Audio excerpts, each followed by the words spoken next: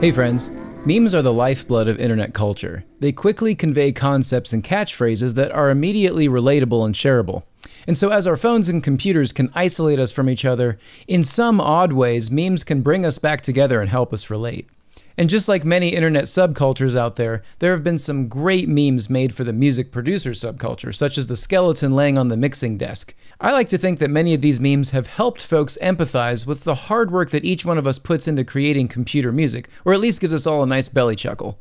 But as fun as memes can be, they can also be laughably wrong and leave musicians with a bad take that could make mixing harder because they're reinforcing bad ideas. These misinformation graphics or studio advice memes can oversimplify topics to the degree that whatever insight they meant to originally provide is lost due to the lack of context, or in other cases, you just get a flat out wrong meme.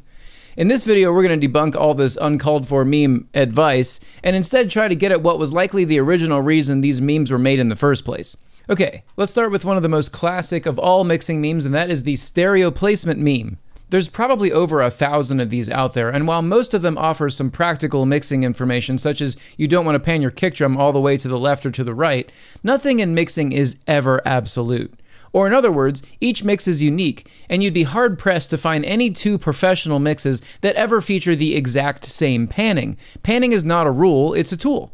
So, taking a look at the first one, which seems to be the least nonsensical of all of them, here we can see that, yeah, the vocals and kick are panned dead center, which is solid advice most of the time, but we can see that the drum overheads are placed far to the left and far to the right of the mix.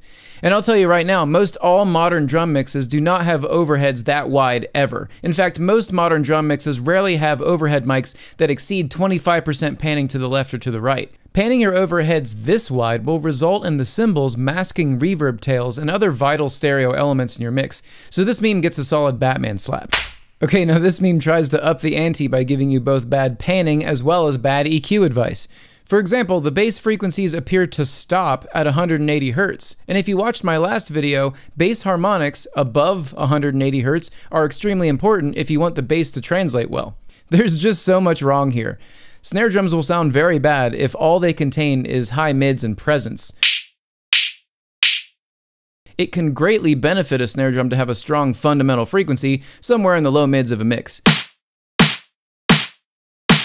And in the background vocals, even though it's useful to remove some treble from them as to not conflict with the main vocal, I'm sorry, but vocals are never going to sound good if you filter everything above 3K. Also, let's just go ahead and listen to a pad Atmos at just 3 to 5K.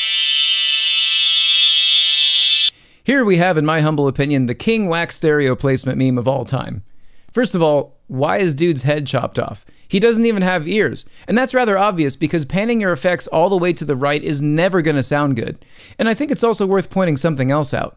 Commonly, beginners tend to pan their hi hats in their mixes rather far from the center, and every one of these mix memes seems to suggest doing this. Now, go ahead and listen to some pro mixes and tell me how common that actually is. Hard panning piercing hi hats is a great way to make your mix sound fatiguing and obnoxious to listen to. It's just not good advice. Okay, moving on from the stereo placement meme, maybe we shouldn't look at this next meme so our eyes don't bleed, but I'm willing to risk it for the laughs. I think what this meme is trying to do is help you maybe with your kick drum, but the information here is bizarrely specific and formulaic. I'm confused by number one here. Apparently, your kick drum sample must be the color red and in circular or square shape. Then we have a squint-worthy EQ curve that will apply to any sample you ever run through it. And then we have multi-band saturation because who needs CPU resources? Then we have boost with vintage EQ, punch and sub, where you remake all the punch and sub that you took out of the original sample. Then we have multi-band compression where we take the subs back out, but that's optional. Then we have fast comp where we take all the attack out of the sample, only to put it back in with the slow comp. And when that doesn't work out, we simply resolve to just using a transient shaper. And finally, we use corrective EQ to unscrew up our totally screwed up kick sample. Look, I just gotta say that if you have to edit and process your kick drum this much, you probably just chose a bad kick sample. It probably wasn't red enough. but no, seriously, there's this general misconception that there is a specific order of effects, and they have to be used in the same order every single time. Effects, for the most part, are for the treatment of audio to enhance sounds or to fix issues if they're needed. And that brings me to the next optical poison meme, number five. Again, we have an absurdly long effect chain with a specific order to each effect. Now, due to how familiar vocal and speech are to the human ear, any lack of clarity in vocals is immediately obvious and sounds generally undesirable. So it actually can be common for vocal effect chains to be longer than other instruments. But this is on a whole new level of no bad stop. First of all, gain staging is not an effect. It's the concept of properly feeding the right signal level to gain dependent effects. You can learn more about gain staging in this video I made a while back. Now, next, if you need significant clip automation or EQ that is surgical, perhaps try to, I don't know, re record the vocals. Deep EQ cuts introduce phasing issues and an unnatural sound. Okay, commonly a de-esser is useful, but then we have the first compressor, suggesting that you must have multiple compressors, which again isn't always the case.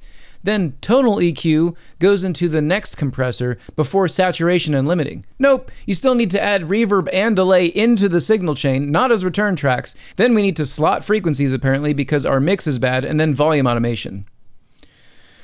Phew. All right, now this final pick isn't necessarily a meme, it's an ad, but it kind of is a meme. It memed itself. I intentionally blurred out the name of the company because they don't deserve to be promoted, nor did I want to embarrass them. But this scores a solid quack on the whack scale because the level of no here is at an all time high. Proven EQ curves? Like, who proved what? This is almost as bad as paying for chords. Almost. Look, there's never a case in which EQ curves can apply to multiple sounds and achieve the same result. Best of all, the tagline is make faster mixing decisions. What? If you just haphazardly slap random EQ curves on your tracks, you're definitely not going to have an easier or quicker time mixing. Probably the opposite. You're probably going to have to try to figure out what went wrong. So, what did go wrong? How did we get here to where misinformation reigns in the audio world? Well, mainly it's because back in the day, if you wanted to record music, you needed to go to a studio. And in a studio, you had trained engineering professionals operating the mixing board, the mics, the effects, and they had to be really good at it. Because if they weren't, then the records wouldn't get made. Then the other studio in town would get more clients, and then they would eventually get fired. Now, zoom to the present day, every single music producer has godlike access to every tool we could ever need to make insanely amazing music at home. But unfortunately, we've tossed the baby out with the bathwater because we've removed expertise from the equation. And any nitwit with a cracked version of Photoshop can crank out this nonsense and further confuse the masses. Now, to be fair, these mix memes can offer some benefit to folks who have literally no idea what they're doing. They may try one of these mix tips out, and their mix may immediately sound better. But through that process, they may begin to think to themselves, hey, wow, I'm a natural. I'm a genius at mixing. I understand it all. But this is actually a cognitive trap or a bias called the Dunning Kruger effect, which is essentially the process I just described where someone with limited competence in any field doesn't know what they don't know.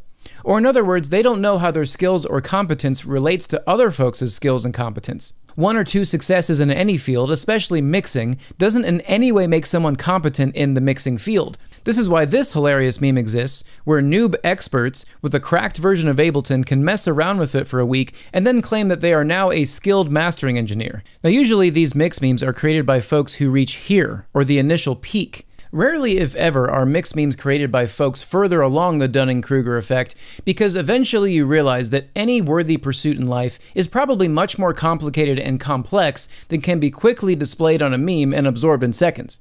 Maybe there's a larger life lesson for society here, I don't know. One way or another, it's really important to realize that it's a serious cognitive jungle out there in internet land, and there's a constant barrage of whack information and completely unchecked nonsense, especially in audio production. We truly live in an intellectual race to the bottom. And so if you're out there doing the spacewalk in La La Land through the bowels of the YouTube Academy, I recommend that you always cross-check anything that you learn and remain ever skeptical of mix memes, especially ones that claim to always do this or always do that. And so, of course, I'm going to use this opportunity to pitch my own mix meme, but it's actually not a meme. It's in the form of a free webinar where I break down how to create great sounding mixes with very useful and actionable tactics using Ableton Live. So if you'd like a break from the safari you're presently in, come on over and click this link above. I'm sure if you watch this webinar, your mixes will sound better and translate well. And hopefully afterward, you'll experience the joy of my favorite internet meme gif, the Stoked Shack and Cat meme. Anyway, if you've made it this far in this video, thanks. That means a lot to me. And here's your reward. A bonus meme of epic proportions. This is the epitome of genius. I'm kidding, but this meme is absolutely hilarious because I can't find anything that's factually wrong with it. On the left, we have the undeniable fact that reverb can make it sound better or worse if you're not careful, and on the right, delay changes how it sounds. Just amazing. And true. Anyway, if you have any mixed memes that you've found that are belly laugh worthy, please post them in the comments. I'm kind of collecting them right now. And if you like this kind of thing, like, comment, subscribe, you know what to do. Thanks for watching, everybody. I'll see you next time.